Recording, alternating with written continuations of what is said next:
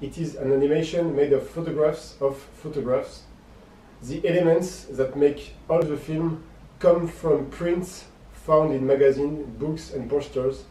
It's like a small model of paper with a 3D camera going inside.